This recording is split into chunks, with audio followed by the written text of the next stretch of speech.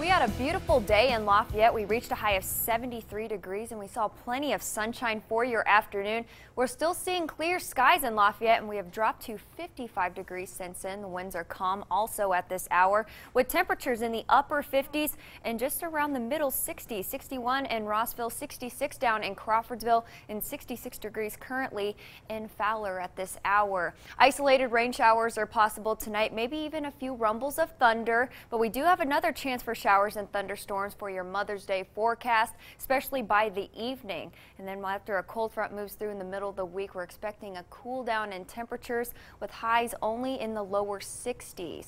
The system is off to our west. That'll trigger the rain showers. We're still staying dry for now, but more clouds will build in overnight. Will turn mostly cloudy. Our futurecast shows us seeing a chance for showers and thunderstorms popping up around 4 o'clock in the morning and lasting until the early morning hours for your Sunday. This shows 7 o'clock on Sunday morning. Overnight lows will fall into the lower 50s, lower to mid 50s, 59 in Crawfordsville, overnight low of 52 degrees in Monticello, and 51 degrees up in Winamac. So temperatures will be in the lower 60s tomorrow morning, still seeing a possibility for a stray shower.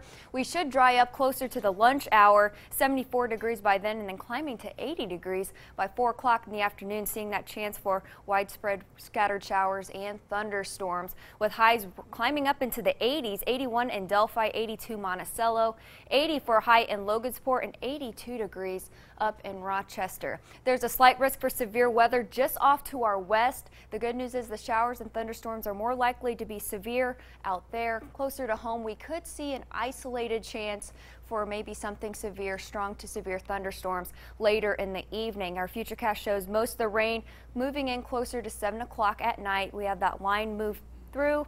By the time we get to midnight, most of the rain should be moved out, but we do have another chance for showers and thunderstorms for your Monday. But at least temperatures are going to be much warmer with a high of 84 degrees in Lafayette and Monticello, 84 Remington, and a high of 83 degrees for Fowler. That'll be the warmest day of the week because after that we have a cold front that'll push through the viewing area, dropping to a high of 73 degrees on Tuesday and into the 60s by Wednesday. High of 64 degrees Wednesday. The coolest day of the week looks like next Friday with a high of 61 degrees. Our average high is supposed to be 71, so we are 10 degrees below the average high for this time of the year. But tonight will fall to 53 degrees, turning mostly cloudy with a chance for an isolated shower or thunderstorm.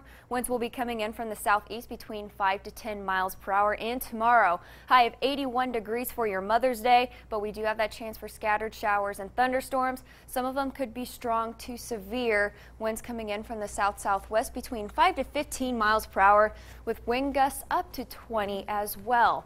It looks like a soggy week ahead. We have multiple chances for showers showers and thunderstorms lasting through Thursday. High of 73 degrees next Tuesday, 64 on Wednesday, 62 for a high on Thursday, and then the coolest day of the week next Friday with partly cloudy skies will at least be dry with a temperature of 61 degrees.